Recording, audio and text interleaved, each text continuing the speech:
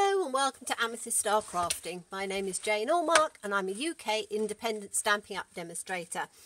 And um, we've been doing an awful lot recently um, in Stampin Up with um, note cards. Now, um, note cards are, let me get some out, um, you get a pack of envelopes and you get a pack of cards um, there's 20 um, cards and there's 20 envelopes and we've been doing a promotion at the moment with um, hashtag simple stamping. So for anybody who is just starting out or doesn't have a huge amount of confidence um, Stampin Up products you can do simple um, card making as well as stepped up and more complicated and all of those things. So, with that in mind, I thought that I would make um, a little box to hold the notelets in.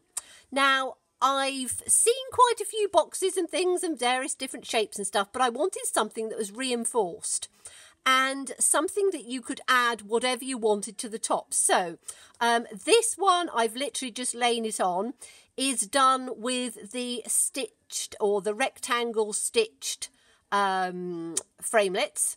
And the largest one actually fits perfectly just with a little border on top of this box. So you can create something a bit like that.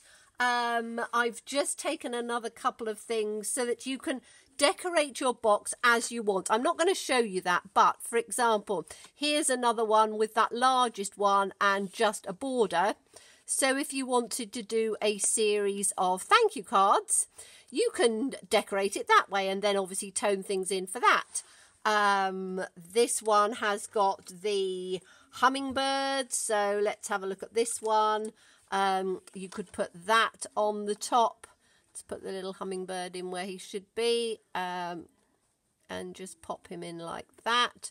So you've got that sort of border and you can do cards um, with nothing on at all, just as notes that people can send.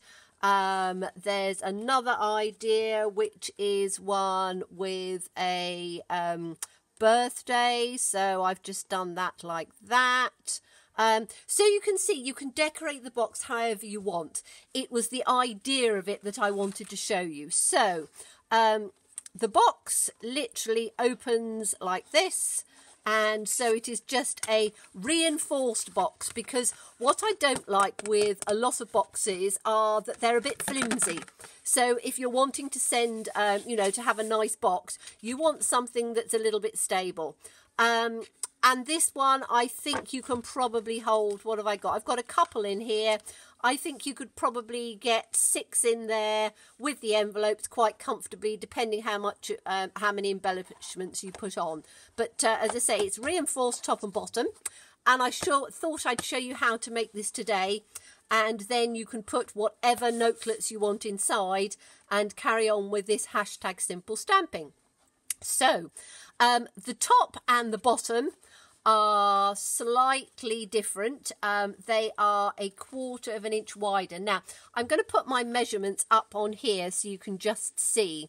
So, um, the base, let me show you. I've made one base because I'm not going to show you. Um, the idea is exactly the same for the top and the bottom. So, the base is a piece of um, ordinary A4 cardstock and that's the nice thing. So many projects and things use great big 12 by 12 sheets and we don't always have 12 by 12 but we all have or most of us will have some white um, whether it's whisper white or very vanilla cardstock that you can use for this. Now I have used the um, the heavy the thick whisper white. You can use thin if you want because it's going to be reinforced. So the base of the box is nine and a quarter inches by seven and three quarter inches. And on the nine and a quarter side, you're going to score at one inch, two inches, seven and a quarter inches, and eight and a quarter inches. And on the seven and three quarter side, so the shorter side, one inch, two inches, five and three quarter inches, and six and three quarter inches. Now, the lid for this I'm making, and we're going to do that one now, it is a quarter of an inch bigger. Now, you might say, oh, a quarter of an inch, why don't you do an eighth, eighth of an inch? Um, for me, let me get my box out again. What I don't like with so many projects is I see people who are literally just having to force the box in and it doesn't quite fit. I wanted something that was going to lift out very easily. If I decided that I was going to put some DSP all the way around the bottom and the top, it would allow that little bit of extra on there. And it's something that, as I say, will open and close very easily without having um, to sort of force it on in any way. So let's go, um, let's start making the top of this. So we have a sheet which is nine and a half inches by eight inches. All right, so we've got the scoreboard out and I'm just going to make sure that you can actually see that in there. Yes, you can. And so this one, we are going to score this at um, one inch so score it at one inch, score it at two inches, score it at seven and a half inches, score it at eight and a half inches. So you've got a one inch and a one inch either side, and then you've got the size of your box in the middle. So let's put it on to the short side, and we are going to score that at one inch, we're going to score that at two inches. We're going to score that at six inches. And we're going to score that at seven inches. So they're very simple measurements as well, because again, I find it quite difficult when I'm trying to follow something and it is you know, seven eighths of an inch and all of that. So I wanted to try and do something that was very simple and something that everybody could have a go at if they've got a scoreboard. So what we're going to do now is, if you look at this, there are four little squares in the corner. So four little squares in the corner here. And we are going to, I'm going to use our paper snips. Um, it doesn't matter which side you cut up. Um, so you can cut up on the long side or the short side. But what you're going to do is you uh, are going to cut it straight up along here and if you cut just inside the um, score line, it'll make it easier to, uh, to cut. And then I find the easiest way is to turn it round and we are going to cut down on this piece, across on this piece,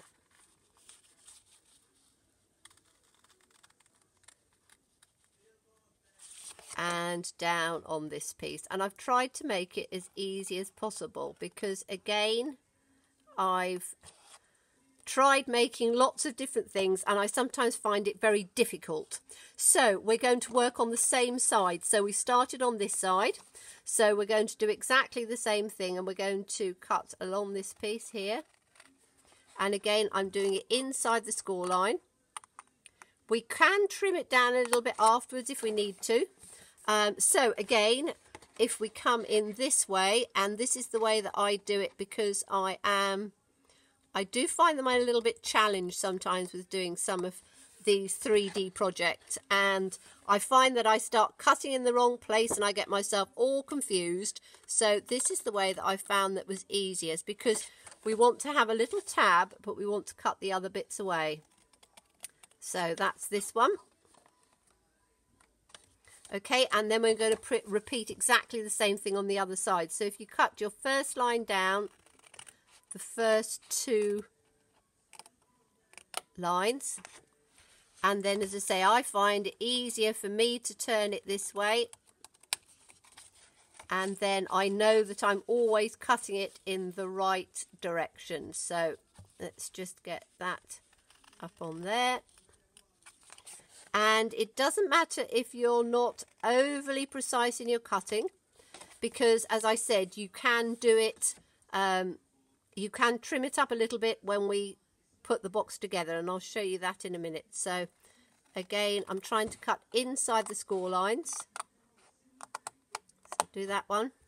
And then as I say if I turn it that way I know that I've got to cut down one up one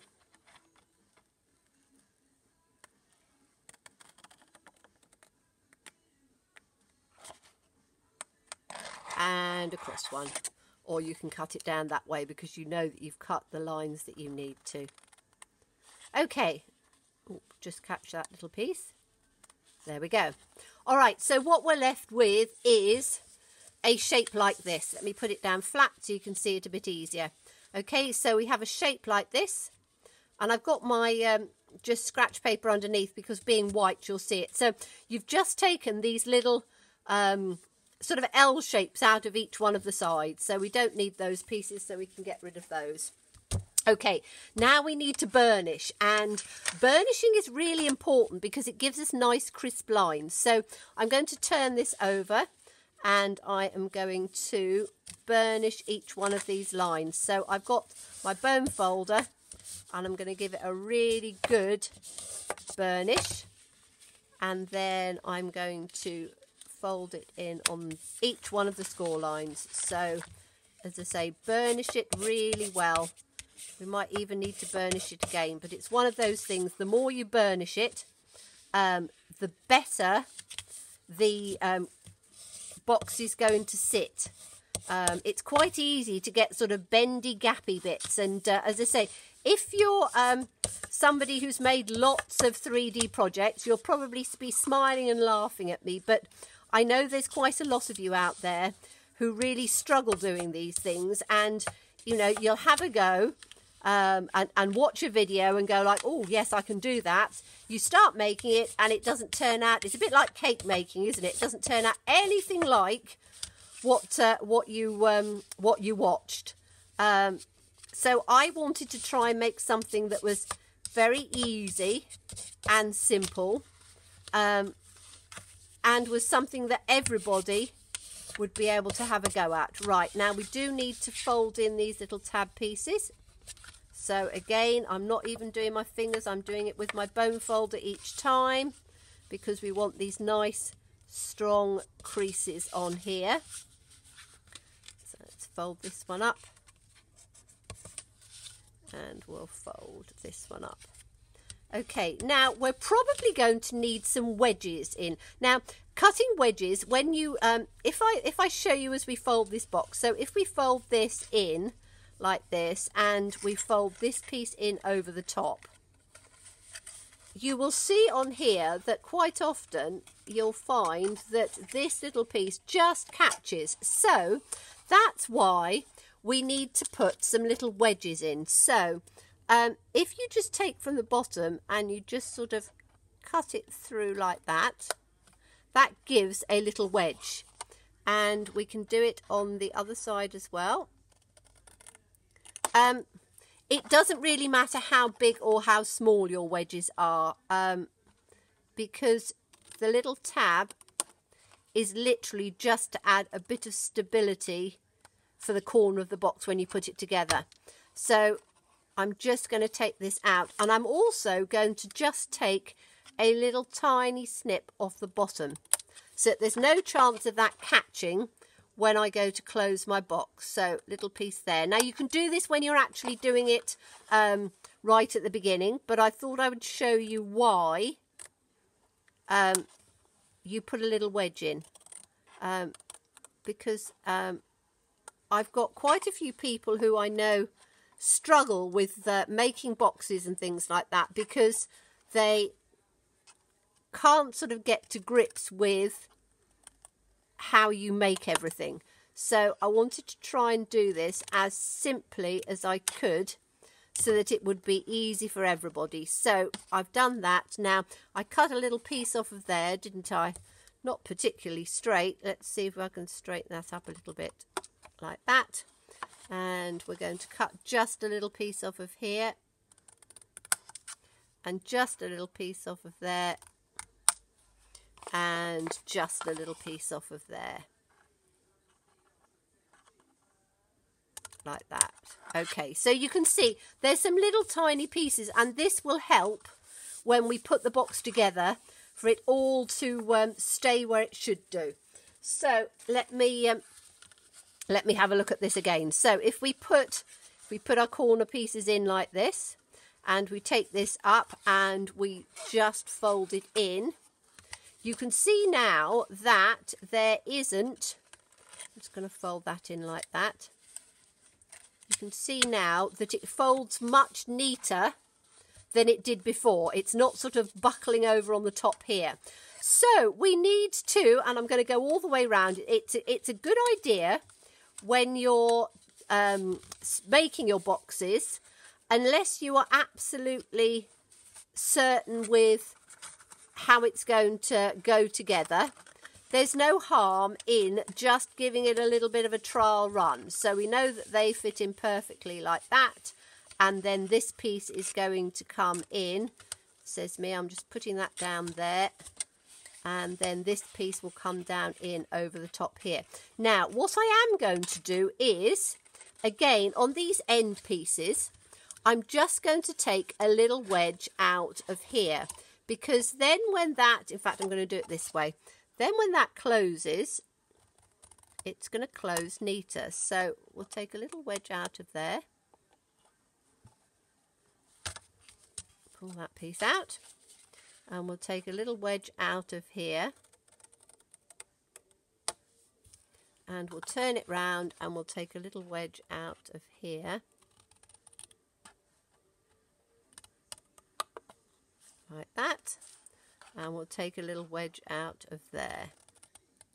And this is all to try and get the box to close as neatly as you can. Um, and again, you can put as many wedges and things in there as you want. You just want it to close nice and neatly. So we now need to do a bit of gluing on this. So we want our tabs, turn it over. And I'm going to use wet glue for this. And we are going to glue the outside of each one of the tabs. So just put some glue down on there and then down on this one. Down on this top one. Like that. Um, paying attention to get the glue right up against that seam line and around the edges of the tab.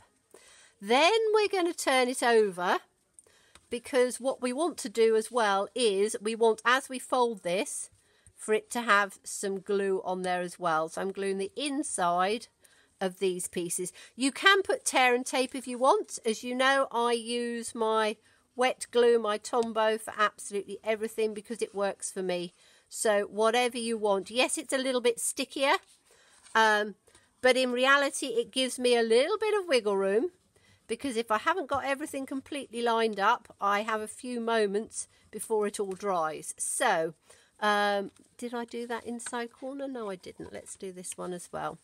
So we're just doing the inside pieces on here. So, um, and as I say, use whatever you want, as long as it's quite strong. I don't think snail would probably be strong. If you still got some of the fast fuse, that's probably quite good. So let's take these little corners and we need to make sure that they're glued up to here like that onto that side and we'll take the other side and we'll just pop that bit in and glue that one into position like that okay and then I'm going to do one side in first so I'm going to do this side in like that and just pop that down. I'm not putting it down completely yet because then I can turn it up if I need to. And then we'll take this one inside and just line that one up. Hold it, whoops, hold it just for a second. Because I say, wet glue does take a little second to dry, but then it does allow you a little bit of wiggle room if you need it. And then this little piece up here and just put that one in flat like that. Okay, so we can get these ones down now. And you can see that the um, wet glue does allow you just that little bit of extra extra time. So you can then put these pieces in, turn it round and put this piece in and it opens itself up quite nicely and starts gluing down. Okay, so I'm just making sure all of my edges are nice and neat, which they are.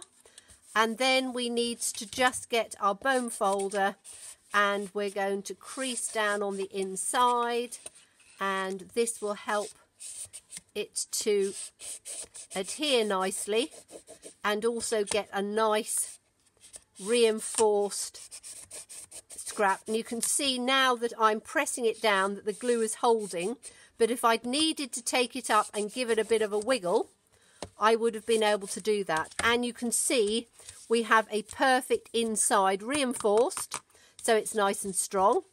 Um, I'm just going to run this down again because as I say wet glue does take a little a little moment to dry. But I'm just making sure that I've got it right up into the corners in here all the way round like that.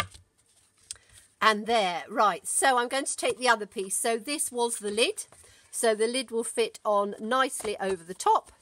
And let's get the other one that I had back. So you have two lovely boxes which as I say you can decorate however you want. Now I will put the measurements down below and also over on my blog which is amethyststarcrafting.blogspot.com. So you can actually uh, go over there and, um, you know, write all the um, um, instructions and everything down. And I'm just going to, I think this is a very pretty one. I think this would be lovely on top of there. Um, so you can then decorate your box how you want. Um, this one's got a little thank you in on here like that. Um, but the large stitched or the large rectangle stitched framelit dies are absolutely perfect because they go just on top and then you have a lovely box to hold all your uh, um, notelets and note cards and you can make the designs however you want. So I hope you found that useful. Um, thank you so much for watching me and I do look forward to seeing you again. Bye bye.